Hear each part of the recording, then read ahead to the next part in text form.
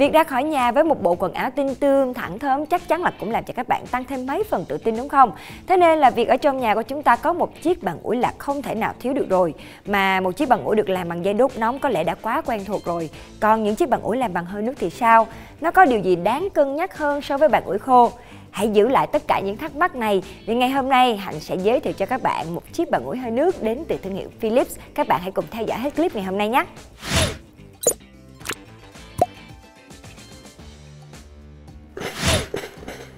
Nhân vật phun hơi nước phèo phèo trên tay của Hạnh có mã sản phẩm là GC4938. Nhìn tổng thể thì hình dáng của nó cũng không khác mấy bằng ủi bình thường. Lớp vỏ ngoài của nó bằng nhựa cứng cáp, phía bên dưới là mặt đế bằng kim loại chống dính với 6 lớp giúp chống chảy xước và dễ lau sạch.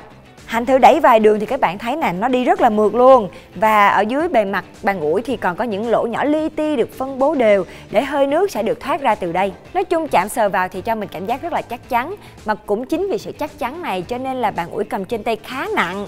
Khi mà mình chưa chăm nước vào á, thì bàn ủi này Hồng Hạnh ước chừng nó nặng khoảng 1 kg 6 chưa tính dây điện. Điều này dẫn đến việc nếu phải ủi nhiều đồ, di chuyển bằng ủi nhiều thì sẽ khó tránh khỏi mỏi tay. Chắc chắn là khi mà có khuyết điểm thì người ta cũng sẽ có những ưu điểm để bổ sung vào và ưu điểm của nó thì Hồng Hạnh hơi bị ưng luôn. Đó chính là chiếc bàn ủi này được trang bị công nghệ Optimal Time, tự động ngắt điện nếu không dùng trong 2 phút khi mà mình đặt bàn ủi nằm ngang và trong 8 phút khi mà mình dựng đứng bàn ủi như thế này. Thế nên lúc ủi đồ nếu cần chỉnh lại vị trí của quần áo để ủi tiếp, bạn sẽ không cần phải dựng đứng bàn ủi lên vì sợ cháy. Nên dù bàn ủi có nặng thì nó cũng đã hạn chế vấn đề nâng hạ cho chúng ta đỡ mỏi cổ tay.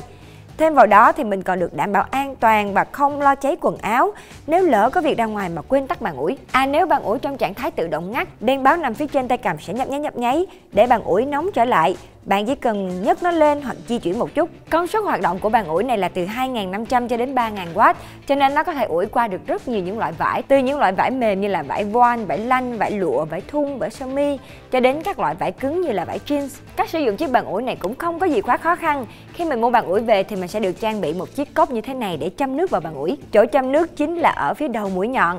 Các bạn bóp hai bên để mở nắp ngăn ra. Ngăn chứa nước bên trong có dung tích là 330ml.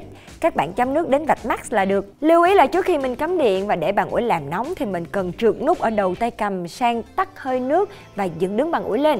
Quá trình làm nóng sẽ mất khoảng 2 phút và khi bàn ủi đã đủ nóng, đèn báo màu xanh sẽ hết nhấp nháy báo hiệu cho mình biết là bàn ủi đã có thể sử dụng. Lúc ủi thì bạn trượt nút về mở hơi nước. Nếu quần áo quá nhăn hoặc là chất vải khó ủi, bạn có thể nhấn vào nút tăng cường hơi nước hơi phun ra sẽ mạnh và đều, thấm sâu qua vải nhiều hơn tới 20%, giúp làm phẳng các nếp nhăn nhanh hơn. Việc chứa nước và tạo ra hơi nước lâu ngày sẽ hình thành nên những cặn vôi, cho nên nếu không tẩy sạch, bạn sẽ thấy là cặn sẽ được đẩy ra khỏi bàn ủi hơi nước qua hình dạng những đốm gỉ màu trắng xám và đồng thời cũng làm giảm công suất hơi nước của bàn ủi. Do đó, sau khi sử dụng từ 1 đến 3 tháng, nếu bạn thấy đèn nhắc Con Clean bắt đầu nhấp nháy thì bạn cần xả vôi hóa nhanh. Cách xả là ở phía bên dưới bàn ủi sẽ có một nắp ngăn màu vàng như thế này. Các bạn chỉ cần tháo nắp ngăn này ra, đem bỏ đi cặn vôi, rửa sạch với nước và lắp lại vào là được. Nhưng mà một lưu ý là các bạn sẽ không cho nước trực tiếp vào ngăn này nha. Các bạn chỉ vệ sinh mỗi nắp ngăn này là được. Ngoài ra thì dây điện của bàn ủi này dài tới hơn 3 mét lận, thoải mái cho mình di chuyển bàn ủi luôn. Và sau khi sử dụng xong, các bạn chỉ cần quấn dây điện lại xung quanh đế bàn ủi, đem cất đi, thế là vô cùng gọn gàng luôn. Và vừa rồi là tất cả những gì về chiếc bàn ủi hơi nước Philips này. Và không chỉ nặng về hình dáng mà giá tiền của nó cũng hơi nặng một chút. À, tầm giá của nó dao động là khoảng 3 triệu đồng khá đắt so với một chiếc bàn ủi khô thông thường. Nhưng mà qua những gì mà hạnh chia sẻ nãy giờ thì các bạn cũng thấy là nó lan được nhiều hơn so với một chiếc bàn ủi khô thông thường đúng không? Hồng hạnh nghĩ là nếu như mà nhà các bạn có điều kiện hoặc là các bạn làm những công việc liên quan đến việc ăn bận thì trang bị một chiếc bàn ủi như thế này cũng giúp cho các bạn mặc đẹp hơn nè và đỡ tốn công quá nhiều cho việc ủi đồ. Ừ, tới đây thì video cũng đã hết rồi. Cảm ơn các bạn đã theo dõi video. Xin chào và hẹn gặp lại các bạn trong những video tiếp theo.